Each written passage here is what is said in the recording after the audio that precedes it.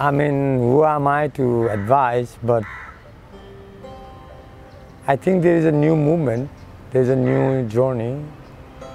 The traditional artist can remain traditional because there is a many, many generation of studies there. But I personally think this art should be of today. How can the wisdom that is illustrated in this art utilized today? So that's my quest. And I have a dream of forming a collective force of artists, a team, a school of artists who will hopefully bring that out in different medias. Now I see even in tattoos. Tattoo art can be described as a form of meditation. When a tattoo artist is tattooing on another human being, at that moment they're thinking nothing else but the tattoo. For the one who's being tattooed, the pain doesn't allow him or her to think of anything else. For the tattoo artist, he's also doing a very profound art. So it's a form of meditation. This is why it's so popular in the human race. Suddenly, it overnight. Now meditation, quietening the mind. You arrive in a state of quietness which Buddha described as sunyata, where the mundane, illusory world no longer exists. And when you have that peace of mind, there your body rejuvenates because it is how it is programmed.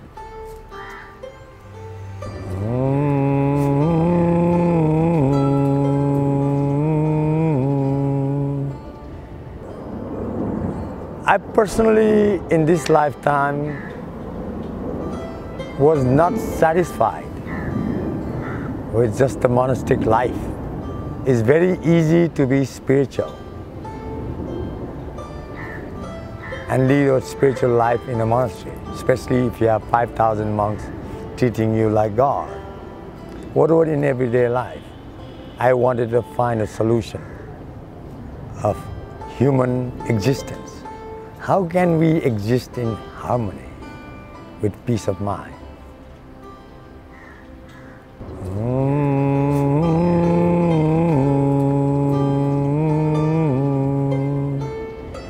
Now, in, in the context of a human body, human being, if you saw the whole human race as a body, let's say you are the little nail, or I'm a little toe, you know, somehow I've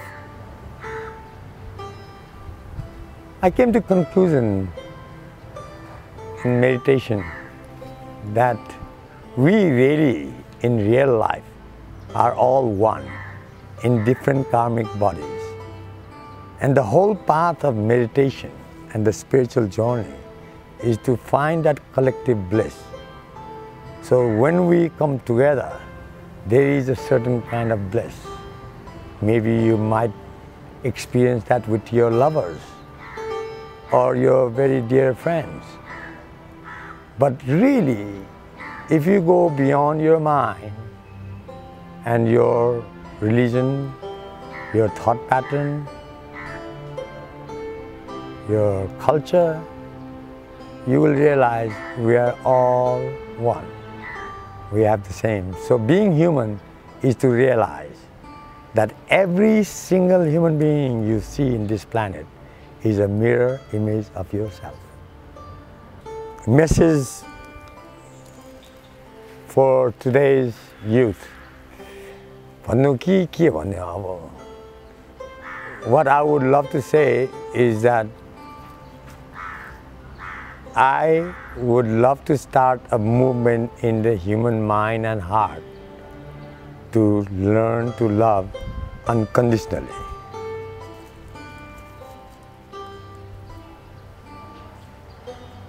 No matter how sacred or powerful a river is, when it arrives in the ocean, it loses its name. And as you all know, big ships sail in the ocean, not in rivers. So big things happen when you are like the ocean. When you let go of your individual self, you will realize you are the universe. Unfortunately, individuality has been planted in your brains, but we do not or we cannot survive alone. With the knowledge of impermanence, you should understand that there is nothing, nothing in this life that should take or rob your peace of mind because we are all here to go. We are born empty-handed and we die empty-handed. I remember a Zen monk artist in his deathbed, 115 years old, grand master, in his deathbed was asked by his favorite disciple, Master, Master, do you have any regrets?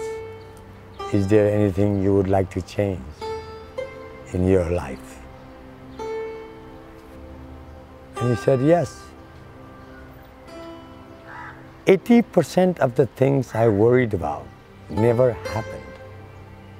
I wasted so much of my time, precious lifetime, worrying about things that never happened.